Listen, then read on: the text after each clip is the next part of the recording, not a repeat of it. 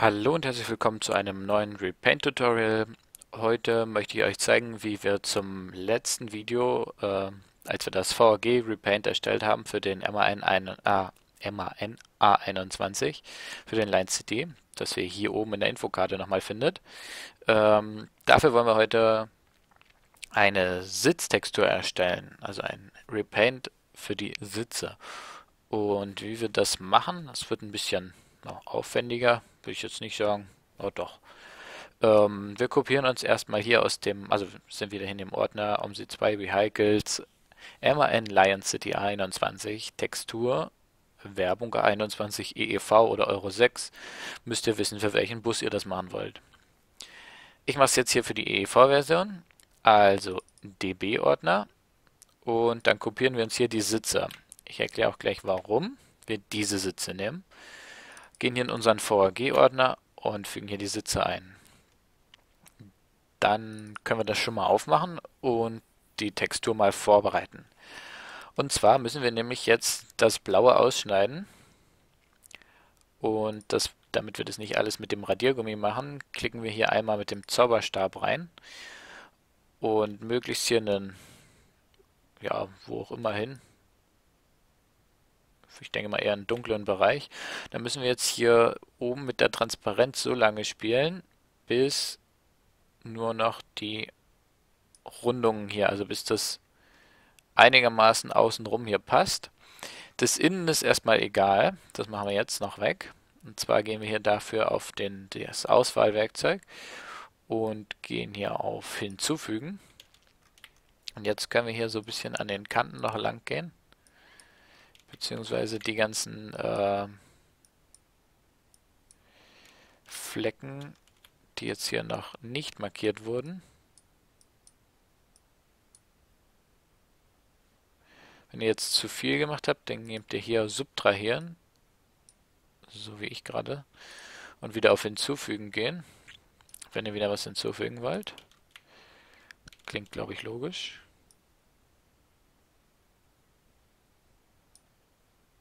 So. Es muss jetzt nicht 100% sein, aber 110 vielleicht. Das haben wir. Ja. Dann müssen wir die alle einmal... Ist natürlich blöd. Genau in der Kante. Hier auch.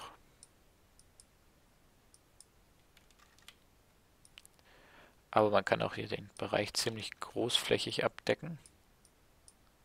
So, dann haben wir es fast geschafft. Die hätte man auch hinterher mit einem Radiergummi wegnehmen können. Das wäre auch nicht so schlimm gewesen.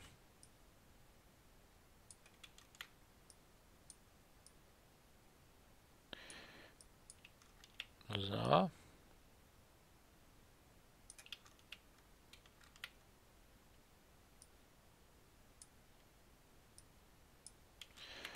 Dann haben wir jetzt alles, was hier noch zum Blau gehört. Haben wir alles weg. Sieht nämlich nachher gleich blöd aus, wenn wir noch blau durchschimmern haben am roten Sitz. Und jetzt können wir einfach entfernen drücken. Dann haben wir das. Jetzt äh, fügen wir eine neue Ebene ein. Die nenne ich jetzt Stoff. Und diesmal brauchen wir hier aber nicht auf Multiplizieren zu stellen. Jetzt gehen wir ins Internet. So sollen unsere Sitze aussehen. Und ich habe mal hier nach äh, roter Stofftextur gesucht. Keine Ahnung. Äh, müsst ihr mal ein bisschen gucken, was ihr da eingebt oder mal ein bisschen, ne? Kriegt das schon hin. Google ist ja nichts Neues. Und jetzt weiß er noch nicht das oder das. Ich denke mal, es nimmt sich nicht viel, aber das ist irgendwie ein bisschen besser. Also Bild in neuem Tab öffnen. Ja, Größe ist in Ordnung. Bild kopieren. Google hat ja hier diese Funktion weggenommen, dass man das Bild direkt angucken kann. Ja gut. Wir werden wohl irgendwann alle nochmal auf Bing umsteigen müssen. Nein, Spaß. So. Beibehalten wollen wir natürlich. Und das ganze Ding muss eine ganze Menge kleiner werden. Und natürlich machen wir es nicht so kleiner, sondern wir machen mal lieber ein neues Bild draus, fügen das hier ein. Und dann sage ich mal, wir machen es erstmal so groß, wie das Ding jetzt ist, also 512. Hier Steuerung R, 512. Kopieren wir das mal, fügen das halt Ah, wir müssen hier auf, auf äh, Ersetzen wieder klicken, ne, damit das weggeht. Ähm, 512 müsste doch eigentlich genau passen. Beibehalten. Habe ich es nicht. Das ist doch jetzt 512. Also nochmal alles Steuerung A, Steuerung C. Und einfügen. Hm. Ist ja jetzt doof. Aber das Ding ist doch hier bloß noch 512. Kopieren. Einfügen. Ach, 256. Sag das doch. 256 müssen wir noch haben. Äh, 256. Ich denke mal, selbst das ist noch zu groß. Ja. Oder wir machen das gleich richtig. Ups. Drehen das jetzt mal, weil die Sitze eigentlich so gepunktet sind.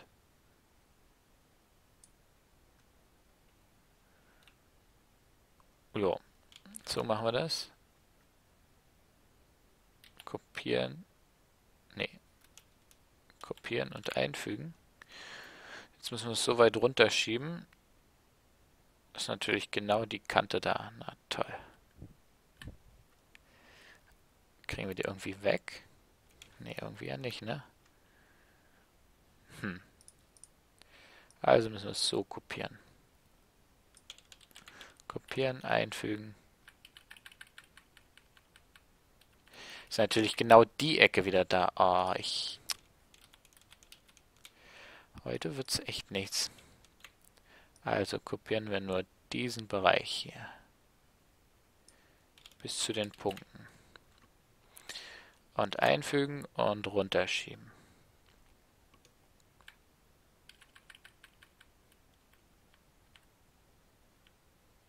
Ja.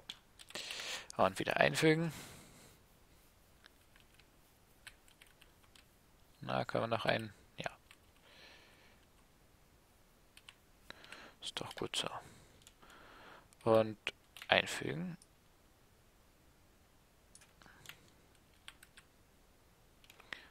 Und einmal noch.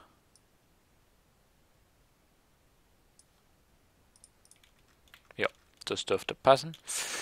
Ähm, tja, wie machen wir jetzt die Punkte noch dunkel? Das hätte ich mir vielleicht vorher überlegen müssen, ne? Ich wollte eigentlich jetzt probieren. Genau. Ich habe jetzt Shift gedrückt gehalten.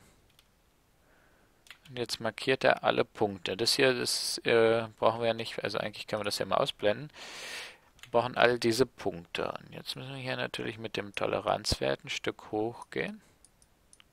Hallo? Nochmal. Ähm, Zauberstab. Hier ins Helle klicken. Natürlich nicht mit 100%. Ähm, ins Helle klicken und Shift gedrückt halten. Dann markiert er hier alle.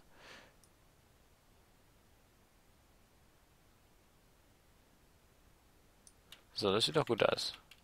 Ah, nicht zu groß.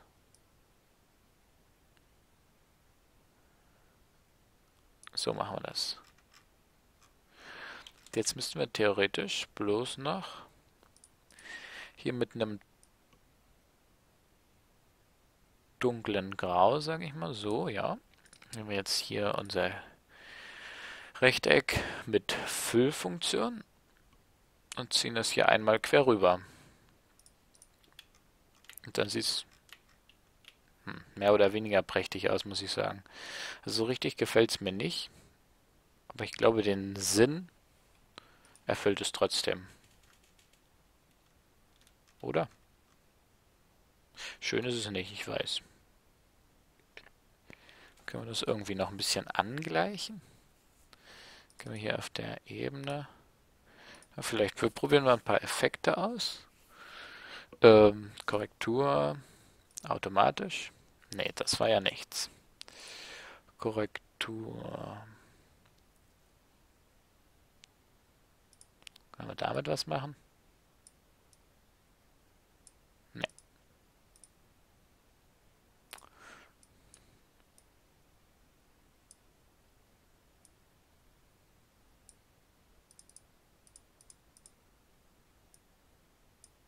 Nee, das lassen wir einfach so. Ich würde sagen, so schlecht sieht es gar nicht aus und wer richtige Punkte haben will, der muss dann halt mit dem Pinsel, beziehungsweise ja, müsste man mit dem Pinsel von hier eine Farbe nehmen und dann hier ganz vorsichtig mit einem ganz weichen Pinsel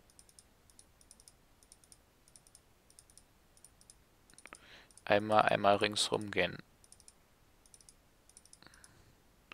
Bisschen härter könnte der Pinsel. So.